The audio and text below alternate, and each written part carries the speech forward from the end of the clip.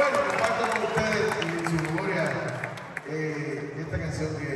que grabamos juntos en un álbum que se llamó Colegas y que nos disfrutamos mucho ese día. Así que en honor a Tito y todos sus fanáticos y todos sus amigos, en honor a Guillermo Cicero, nos vamos por la